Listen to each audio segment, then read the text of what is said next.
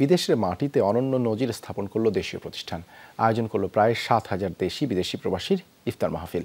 Al Haramain perfumes group of কোম্পানির এমন আয়োজনে অংশ নিয়েছিল বাংলাদেশের প্রতিমন্ত্রী সহ বিভিন্ন দেশের কূটনীতিবিদরা। সংযুক্ত আরব আমিরাত থেকে সহকর্মী মেহেদি রুবেলের পাঠানো প্রতিবেদনে বিস্তারিত।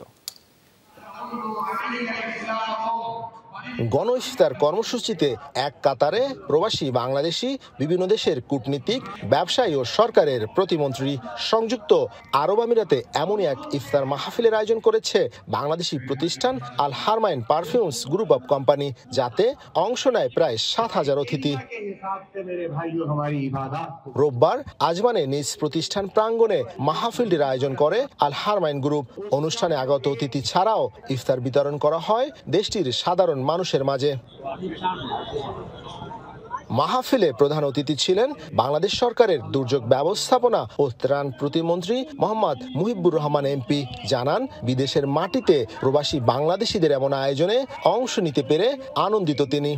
আমি দুবাইতে এসে আমার মনে হয়েছে দুবাইয়ের যে সমাজ ব্যবস্থা, যেখানে আমাদের বাঙালিদের অবস্থা, আমাদের যে মাতাব সাহেবের মতো উজ্জ্বল যে আমাদের কৃতি সন্তান এখানে রয়েছে, তারা আলটিমেটলি বাংলাদেশের যে উজ্জ্বল ভবিষ্যৎ, যে স্মার্ট বাংলাদেশে আমরা স্বপ্ন দেখি অলরেডি তারা সে তার একজন সারথি হিসাবে তারা কাজ করতেছে।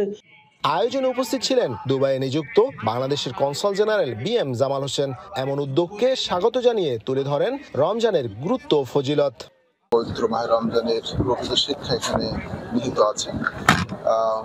রমজানের যে শিক্ষা, আত্মশুদ্ধি এবং আত্মশুদ্ধির মধ্য দিয়ে সকল পাপাচার থেকে মুক্ত থাকা সেটি হচ্ছে মাহের রমজানের সবচেয়ে বড় শিক্ষা।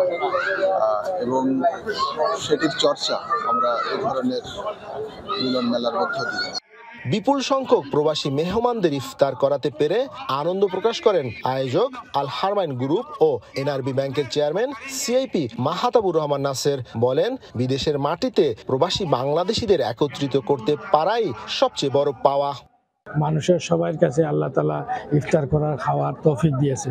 কিন্তু মানুষ ভালোবাসার টানে এখানে চলে আসে। সেই জন্য আমি যারা আজকে উপস্থিত হয়েছেন সবাইকে আমি আন্তরিকভাবে ধন্যবাদ এবং কৃতজ্ঞতা দিই দেশের বাইরে এমন ইফতারের আয়োজনে খুশি প্রবাসী বাংলাদেশিরাও বলেন এরকম অনুষ্ঠানে বিদেশিদের অংশগ্রহণ বাড়ানো গেলে বাড়বে দেশের সম্মান।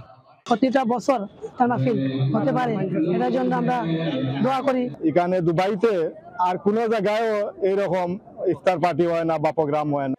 দেশি বিদেশি অতিথি ছাড়াও আয়োজনটিতে উপস্থিত ছিলেন আমিরাতের বিভিন্ন প্রদেশের শাসক কূটনীতিক স্থানীয় প্রশাসন ও বিপুল সংখ্যক প্রবাসী সাংবাদিক।